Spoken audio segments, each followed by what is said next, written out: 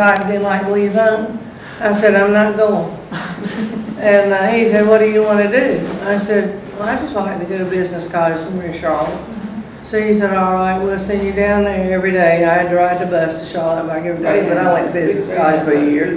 Then I went to work for Olin and stayed there forty-four years. Oh, that was a good company. That one. Was, when it was a women's college, was it four years?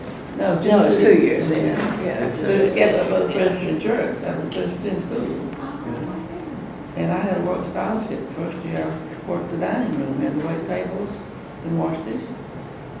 And the second year, I was in charge of mail, I had to go to the post office and pick up the mail, bring it back to the distributor in the box and get the college. Three times a day. And the money and- and I money. just didn't want to go because I didn't want to stay away from home. I I feel like staying home at night. Two, uh, Can't blame them. Well, I did. I know one time Dad was spending the night with our first grade, grade teacher because her other sister had gone somewhere. You were more or less tired. And she put me to bed early and I looked over there and Daddy was closing up about nine o'clock to go home from the post office in his big general store. and About tore me up because I wasn't going with him. I just decided, I didn't want to go off mine when I was just younger. Yes. So I could transfer. Of course, ever since then, Did you transfer? We've been on the road a lot. I two weeks at a time. well, we've traveled the whole United States and all of Canada. Wow. It's, uh, Every state. Business college, that's what And, they uh, more or less planned for. My brother, when he died the last time, we told him he had some heart problems and we didn't think he should, so. I went to business After he died, Margaret and I went to Alaska for two weeks. Railroad and stayed there. and learned to But travel and move we've covered all but Hawaii, and we didn't get there. Oh, And I Well, you have- you have to make it. Robert, I'm too old now. Robert's idea, he said, I have to drive to top of Pikes Peak and cross the Golden Gate Bridge. And he did both. um, As long as he was determined he's gonna do both, he did both. okay, well, let's go, let's start back early, uh, growing up in Mount Mourne. Talk about growing up in Mount Mourne, in the post office, in the general store, or in, in the house, the oldest post office in Iredell County. It is the oldest in Iredell County, it was established in eighteen oh four. Yep. But as far as the church, um, who was our preacher when we started? Mr. Parker was our preacher. Mr. Parker, was- he came when I was nine months old. He baptized me that time. And he stayed there thirty, how many years, thirty-one?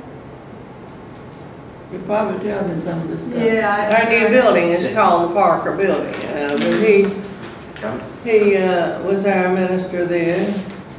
I just remember when Pearl Harbor was bombed, uh, we were up at his house that afternoon, he came out, told us he just heard it on the news, we were out there Wow. in the yard, and he came out to tell us about it. His daughters were real good friends of mine. More or less lived In fact, there. I was maid of honor in his youngest daughter's wedding. Okay, okay. Well, yeah. But he stayed there, he came from Virginia, and he stayed there, well, I think thirty years, thirty-one years, something like that. I'm sure I have it here somewhere. Thirty, okay. Wow. Uh, Uh, going back to, to, uh, Mount Mourne, um, there, there was not a whole lot going on in Mount Mourne when we were growing up, so there were just a few houses. Yeah, I can remember when the house next door to us was built, and the two houses, well, the one next, the next one up was already there. The two above that, I can remember when they were built. okay, now where was y'all's house? Right in the center of Mount Mourne, right on the. It's the, uh, as you come south of Mount Mourne School, it's the only two-story on the left. And from there on down, it's nothing, right there, put that corner down at the pet shop. But, uh, that's, we live in the house that we were born in. Well, I'll be talking. We still live in the house that we were born in. Oh, wonderful. Yeah. I, would, uh, and that was, I It's been remodeled, I don't know how many times, but we still live in it. I'm getting ready to say, it's still standing, that's Well, good. It's see, it had it's no good, bath. house. nothing wrong with it. It had no bath, Yeah. and uh, no heating system. We had, we had wood stove, and then we had a coal stove, and then we, we uh, got a natural gas furnace, which we use now, but Yeah, we, we were in a cold house, so you didn't heat the whole house. You had a big stove in one room, Yeah. that's where you stayed, that's where you studied, when we were little. Did So we just have, uh, window air conditioners, cause we didn't put in a central air conditioner. We got the window, ones, three different rooms, so we don't need the other type, you And, know. uh, living room, and a bedroom on the south side of the hall, we had a hall in the room. Yeah. We changed all that. But my dad, we mom that took the hall out and made one big room on that side of the living room, and what used to be the living room, we made into a bedroom. Mm-hmm. And what used to be their bedroom, we made into a den. Mm-hmm. They used it those long, my dad lived in it, my mother moved to a bedroom on the side, mm-hmm. but they, they added a bedroom in upstairs after the kids came along. So he lived oh, I in have to tell you something, uh, that we thought was wonderful. My brother, one of them was in the Navy and one was in the Army.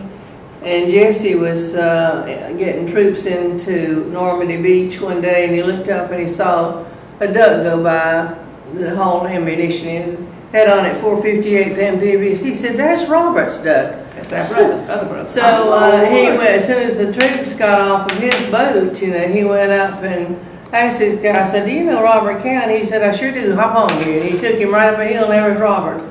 And Jason and Robert hadn't seen each other in two years, one in the Army, one in the Navy, and meet up on Normandy of all places. Ah. I told him that was a miracle. Robert was supposed to That was a miracle. He said they lost. And they were something tickled to machines. death to see If they didn't need the ammunition the first day, so they didn't really go into the second day. So It just amazed everybody. I think I mentioned that at Jesse's funeral, Robert's, I forgot to mention. Everybody after church was coming around, wondering how they ever met. I said, well, that's the way they met. That's the way they met. I know it. We So said that was a miracle. they were both saved and got back home safe, so. That's wonderful, that's I know. wonderful.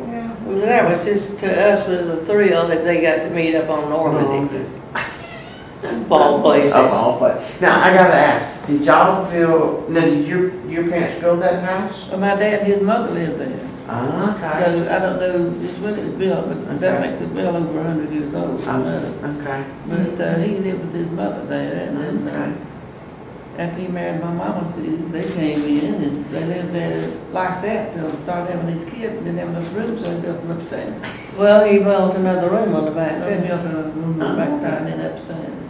Mhm. Kids kinda do that. Yeah, that's right. So it was your grandparents' home to begin Well, with? it's my grandmother, I don't think, my- I think my granddaddy died from the war. Uh, Mhm. We never did know much about him, too, because I, we didn't think about asking our daddy everything, and he. I don't even know where my daddy went to high school. Oh, my I would God. think he Bill went to to be in Mooresville. Mooresville somewhere, but He don't He know. bound to have gone somewhere around here, and um, I just figured he went to Mooresville because He he uh, had to have the education. He had to be freight agent and postmaster and everything. He got to have some education. Yeah, he is from handwriting, so. And I never did ask him where he went to school. Oh, my God. See, he's been dead sixty-some years now, so wow. Do you just have didn't think any- about asking him all that. Do you have any of his letters that show his handwriting? Or anything that he did? that- Uh, well, we have. I got the books where he loaded, We where have he the record. let people have stuff and they never did pay him. During the depression. He fed. He ran a store, and, you know, back then, some of the times were hard, and Yeah, They didn't people, oh, him. Lord, we got a book that thick, They of couldn't pay him things. then, and he. He'd loan, you know, he gave people, yeah. and they didn't really pay him back. She wanted to write some letters, he said, no, we're not gonna do that. He just let them out. He just, and Robert, my brother, was the same way. He went on a note, somebody at the bank one time helped pay for their, well, you know, they were buying a house trailer, he had to finish paying for it. And I said, well, Robert, let me write her a note and tell her, you know, that you're expecting the money. Yeah. He says, no, she knows it and the Lord knows it. And that's just the way he put it. And he never did get the money. No. He I- He was just that type of person. Oh, Lord, he'd give me, he'd give the clothes off his back if it was necessary. Oh, my word. He was a, Robert was a wonderful boy. He certainly sounds like it. But So, he, he moved that plaque in the church, uh, that one it says the Senate up on the side. Yeah, Have you Yes. noticed it, the Senate? He moved it. Yes. Well, it used to be where the organ is, oh. and when